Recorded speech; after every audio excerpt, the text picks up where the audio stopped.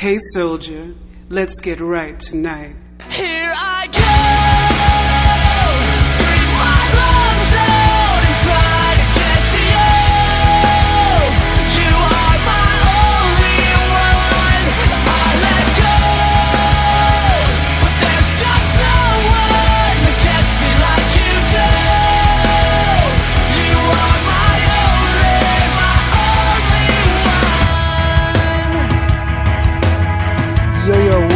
Guys? Solgr Only from Sports Nerd Web is here with the sports, uh, excuse me, the Solgr and Fusha Only show. Yes, and I, I am Fusha. I'm very tired today. I am too. I actually just woke up from a nap, uh, probably about not even half an hour ago. yeah, and I might take one and then work on my puzzle, but we'll see. Yeah, and you need to take one. yes, I do. I got sleepy face. yeah, it is. It has definitely been a long, I would say a couple weeks lately.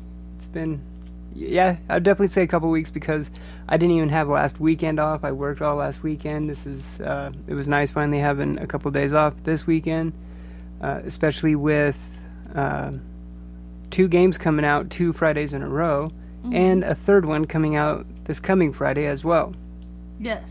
it's been definitely busy on the video game video game front. Uh, a couple couple Fridays ago, Titanfall 2 dropped. Uh, then just this last Friday, a couple days ago, uh, Call of Duty Infinite Warfare dropped, and this coming Friday uh, will be uh, Dishonored 2.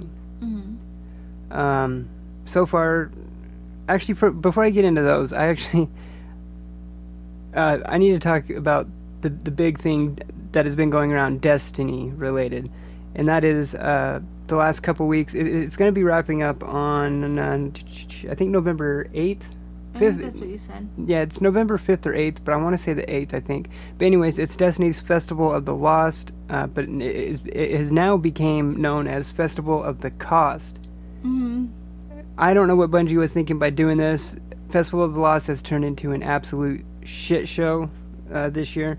Um, as I've said many times before in our podcast and uh, all, you know a lot of our other content on Sports Nerd Web, that I wasn't a Destiny player until year two, uh, until uh, you know about six months ago. So I wasn't around for the la- for the for last year's Festival of the Lost. But I think what I heard is that players did kind of have some of the same issues with it. And what the big thing is is I mean players aren't aren't generally upset that there is microtransactions in the game. I mean because Destiny has had that for a long time now. But wh- what's making it stupid is that you can buy these mystery packages. Remember I've explained some of this to you. You can buy these mystery packages. Let's say you want you know the ghosty ghost the ghost with the uh, with the sheet over it or, or i didn't tell you about this one. There's actually a devil horn ghost a ghost with little devil horns. Or maybe you want uh, you know some of these other masks and stuff like that. You can buy these packages with real money through microtransactions. But the shitty thing about it is is that it is still rng based meaning that it is still random based. So you can drop you know anywhere from 20 to 100 dollars and you might get the you know the shader that you want or the mask that you want or or whatever it may be. I have heard of uh, just listening to the different podcast destiny podcasts and stuff that i do throughout the week i heard people spending you know 20 bucks and they were able to get everything that, that you know that they wanted and i've heard of people spending upwards of 80 bucks and didn't get one of the things that they wanted, you know, and that there was even a lot of duplicates, you know, like they were even getting several of a mask or a shader or whatever it was that they didn't want. And uh, I, I just can't believe that Bungie actually went through with this. Um, especially, I did hear once that there was kind of an issue like this on the fir- on the first year of Festival of the Lost. So if it it, it's just it just boggles my mind because Destiny or excuse me, Bungie definitely seems like that they usually learn from their mistakes. They always it seems like that they're really good at listening to their community and riding the ship later on. But if this was an issue last year and they still did again this year, I don't know. I mean, Festival of the Lost for the most part was pretty enjoyable. You know, it, it was it was a nice, fun, just- entertaining event. I just really hope she gets her broom back. She was so sad. What is my existence in life? Yeah, there. Yeah, the the poor little robot frame at the tower that missed her broom, Yeah. or that misplaced her broom, or someone stole it actually, because she's like she even somebody says, hid it. Well, because she yeah where we find it it looks pretty hidden, Yeah. but she even says, is it is it a crime to steal from a frame? She even says something like that. Yeah. So uh, I don't know. It it it's it's almost it's And to, said- to the point of heartbreaking. Like see if I- you sit there and listen to her. I think it would be really cool if they had a thing to where you can return her broom and get a reward. You know, like you find the broom, you go out, you use it, it's really awesome. And then as it starts to draw near the end of the Festival of the Lost, you have the opportunity to give her back her broom and be like, oh, hey, I found this, but it doesn't even let you interact with her. I think it'd be really cool and really beneficial, if, especially if they didn't really say that they were doing it. So then it's just, you notice one day you can actually talk to a frame and you're like, hey, let's give them this broom, and then boom, you get some kind of like a shader, another Yeah. shader or something. That, Yeah. that that would actually be really cool. That would actually be awesome because remember how I got the super black shader by Mhm. by getting the candy from this person, taking them to that person, and trading it for a different kind of candy, and then taking that to another person in the tower, Mhm. and so on and so forth until you get the the super black shader. So it'd be really neat if they did that. One thing I'm interested that you say that now though, how you said it at the end of the Festival of the Lost, because when you pull up the broom in the menu, it says that that broom is going to be expired when Festival of the Lost is over. So we're not going to be able to use it. It's just, it's probably just going to just be gone, maybe. Or I don't know. You brought up a good point. Maybe we return it to him, to that frame at the end of the year, or excuse me, at the end of the event, and then she gets her broom back and all's well Yeah. Mm. at the tower once more.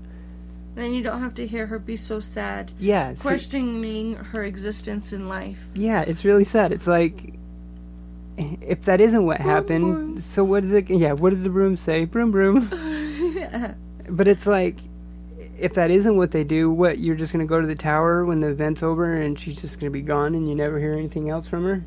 It's like, what oh, Well, did she no, jump she'll off the ledge or something? Like, where'd she go? No, I'm sure she'll get her broom back because when we walked over to a different frame, even that frame was saying stuff too. So she'll Not as probably much, get her but broom. yeah. she'll probably get her broom back and, and then just kind of be non-existent to everybody else because no one can actually really talk to her, and she's meant to just be background anyways. I would like to think she gets her broom back.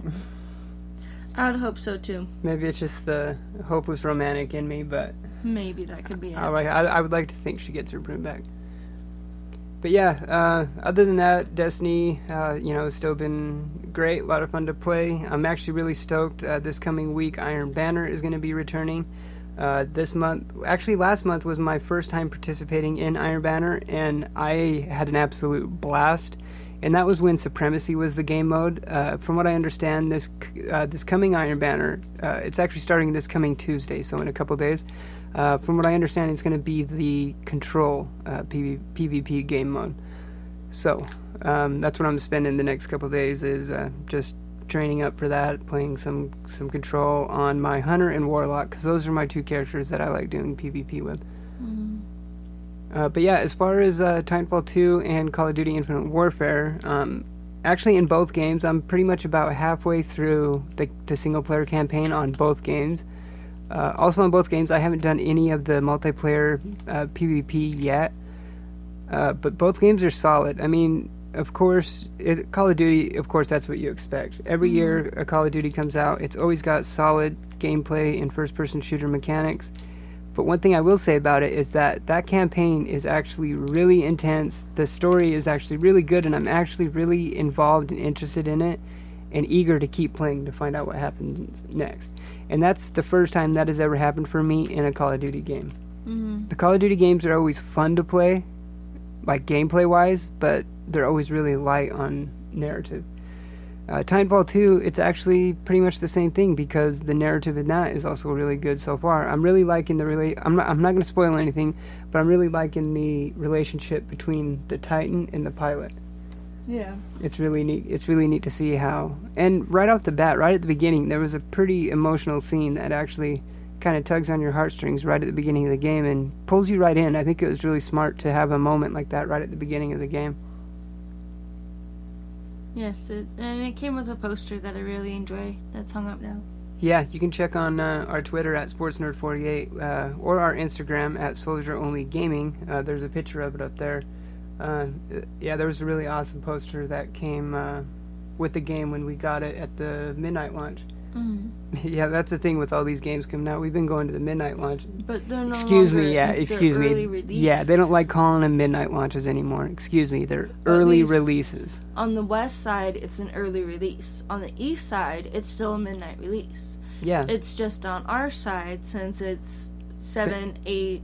Well, since it's like, midnight Eastern, Yeah. it's 10 our time. 10 our time. So then a lot of people on the west coast have been showing up to the places at a midnight release at midnight our time, whereas they already handed everything out 10 Yeah, they're trying midnight to close. Eastern time. You know, so. yeah.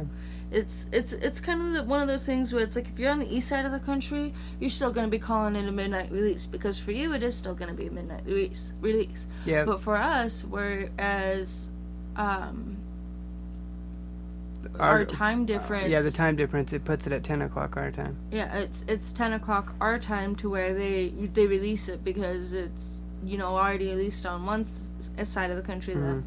So Because what just- it is is because it's actually a worldwide launch. Yeah. Because you know, remember games normally come out on Tuesdays, but Mhm, these last two games have came out on a Friday because it's a worldwide launch. mhm. That's why those games have came out Fridays instead of Tuesdays, like games usually do.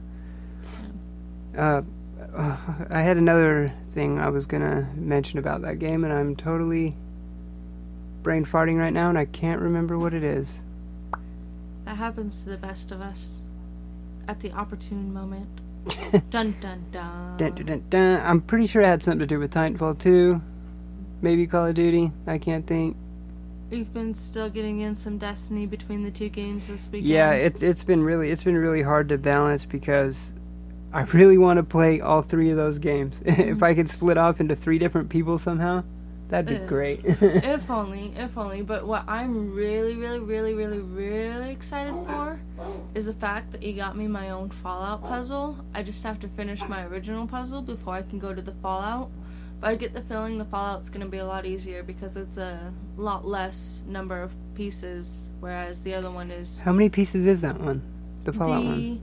The Fallout one is 550, and the other one is 750. 750. Okay. So Yeah, so it's not as quite it's not as quite It's- as big. Yeah. It's around the same size, but the pieces look like they'll be a little bigger than what they are for the one I'm currently doing. I'm still so proud of myself for getting as far as I have, and I'm gonna work on it some more. Aha! It came back to me. I remember what I was going to talk about now. Uh, I actually made a video. It's on the Sports Nerd Web YouTube channel about Titanfall releasing right in the middle of Battlefield 1 and Call of Duty Infinite Warfare. So what I was just going to say is that I'm really interested to see the sales numbers of these games. Because Call of Duty Infinite Warfare, when it was announced earlier this year at June, back at E3, it was the di- most disliked video in YouTube history. So, and as we all know, Call of Duty is a huge juggernaut every single year that sells millions and millions of copies. And as we noticed when we when we got the game on Friday, there was still a good turnout. Mhm. There were still a lot of people there. So, I'm sure it's still going to sell a lot, but I just have a feeling it's going to be one of the less one of the more lower selling Call of Duty games in a long time. There was more people at the Call of Duty early launch than there was at the Titanfall. Oh, by far, Mhm. by far, and I would have expected that. I I'm, I wasn't su- wasn't surprised by that at all. I'm just really hoping that Titanfall 2 isn't doomed because of where it released, because it already is a critically acclaimed game. The game's fucking amazing. Like Mhm. most places are giving it nines out of tens. If I had to put a, num- a number on it, I would probably give it the same. So. Yeah. I fully agree with all the reviews that I've seen so far. But yeah, that's gonna uh, do it for this week of the Solgr and Fusha Only show. Make sure that you uh, check out uh, the YouTube channel, the Sports Nerd Web Facebook page, or Spreaker.com slash user slash Sports Nerd Web, because we have our new podcast premiering tomorrow. That's our All Walking Dead podcast, Talking Decay, uh, and we'll be talking about all the episodes up until this point. Um, like I said, you can follow uh, me and Sp- Sports Nerd Web on Twitter at SportsNerd48. Check out my live streams at twitch.tv slash solgr only. Follow me on Instagram at solgr only gaming. You can follow her at fusha only. Mhm. And uh, yeah, thanks for listening. We love you all. Have a good week, and we will see you next weekend. Deuces.